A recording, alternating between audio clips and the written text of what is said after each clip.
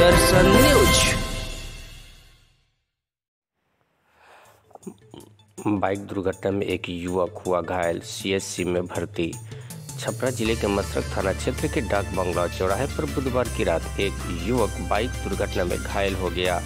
युवक को घायल अवस्था में स्थानीय लोगों के द्वारा सीएससी मसरक में भर्ती कराया गया, जहाँ उसकी पहचान बेतिया जिला के निवासी प्रसाद पटेल के 19 वर्षीय पुत्र अभिषेक कुमार के रूप में हुई। बताया जाता है कि ड्यूटी पर तैनात चिकित्सक डॉक्टर राजेश कुमार ने घायल युवक का प्राथमिक उपचार किया, परंतु एक उसका पैर गंभीर रूप से फ्रैक्चर हो जाने के कारण बेहतर इलाज के लिए छपरा सदर अस्पताल रेफर कर दिया।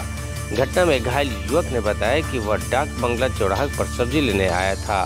सामने से अनियंत्रित बाइक पर सवार टक्कर मार फरार हो गया। जानकारी के अनुसार घायल युवक तरिया मलमलिया रोड के गैरेज में काम करता है। मस्तरक से धर्मेंद्र सिंह की रिपोर्ट।